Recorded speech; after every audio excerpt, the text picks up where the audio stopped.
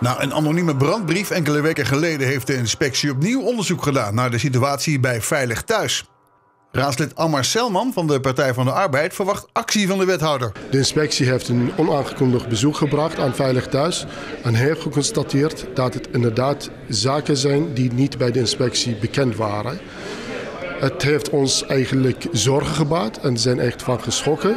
Want we hebben de wethouder gehoord uh, in maart en vertelde, de mededeling was toen dat eigenlijk alle wachtlijsten zijn weggewerkt. En we hebben het over wachtlijsten hier, maar we hebben het over mensen die in nood zijn en ons zorg nodig hebben. En nou achteraf constateren we, na, aan aanleiding van de inspectie, dat het eigenlijk niet het geval is. Dat veel te veel mensen, veel is te lang staan te wachten op ons hulp. Dat kan echt niet. De provincie Gelderland wil de FASIM gaan gebruiken als museumdepot. Bestuurslid Arno Derks van de stichting Cultuurspinnerij De Fasim is bezorgd. Wij hebben ingesproken omdat we als Cultuurspinnerij eh, De Fasim, wat overigens een stichting is, ja, onze zorgen uitspreken uh, ja, voor een eventuele komst van een, uh, een museumdepot op de plek De Fasim. En dat zou eigenlijk, ja, eigenlijk onze einde betekenen. En ja, wij vinden dat als ja, stichting gewoon jammer. Wij zitten daar ruim 14 jaar. We trekken jaarlijks 50.000 bezoekers uh, uit, uit, uit, Nijmegen en omstreken.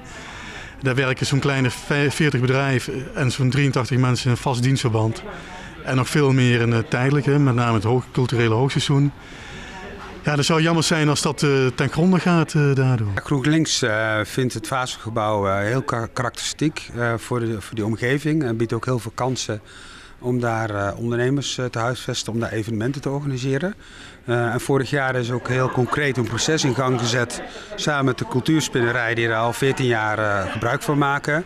De evenementen organiseren en daar ook ja, ondernemingen hebben. dus de gemeente had met hun afspraken gemaakt om, ja, om, om dit gebied mooi in te gaan vullen op een structurele manier. Ja, en tot mijn grote verbazing heeft een maand geleden de gemeente gezegd, nou daar gaan we mee stoppen. Want er komt een depot voor archeologie.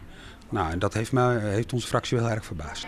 Nou ja, wij hopen in ieder geval dat de gemeente Nijmegen ons als een volwaardige uh, ja, organisatie ziet in de samenleving. En dat wij een positieve bijdrage leveren in de samenleving. 50.000 bezoekers, wij zouden dat graag uit willen breiden. En uh, ja, ook, ook de bedrijvigheid willen uitbreiden. En dat kan alleen maar als je een lange termijn horizon hebt. En dat hebben we op dit moment niet.